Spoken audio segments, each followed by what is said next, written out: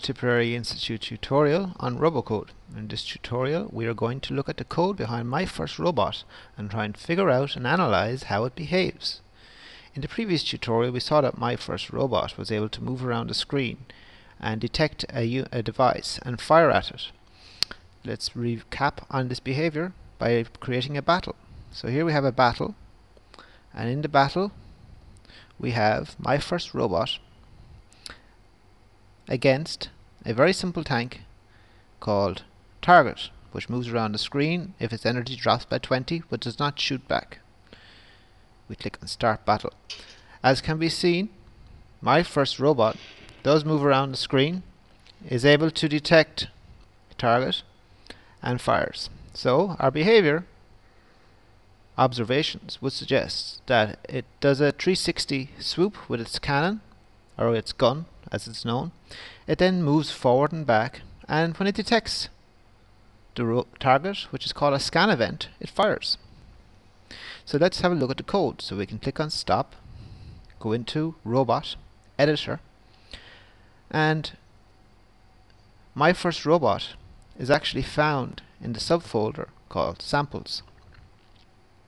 So we're in C Robocode robots from there we go into sample.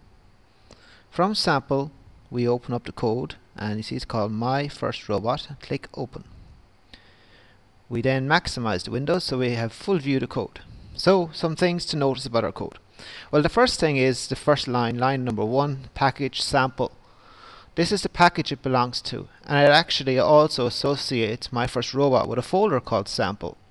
So if you wanted your robot to, to belong to a different class of robots, such as schoolbots, your package name would have to be schoolbots. We then import the robot code. We have the name of our robot, which is my first robot. And that must match the name of the file at the top, myfirstrobot.java. And it, it extends robot.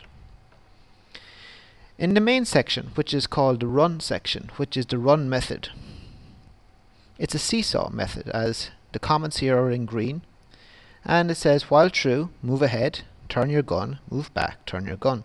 So it is constantly looking. What causes the robot to fire? Well what causes the robot to fire is what we call a scan event. On scanned robot what do we do? We fire. We fire a very weak shot which is of strength 1 you can fire shots a lot stronger than strength 1 however they do use more energy. So some decisions or tactics have to be decided possibly on what strength you should be firing at and if I'm hit by a bullet, well, what do I do? Well, I, I just turn left 90 degrees or perpendicular from where I was hit. Again, it is very simple. It doesn't even move when it's hit, you may notice.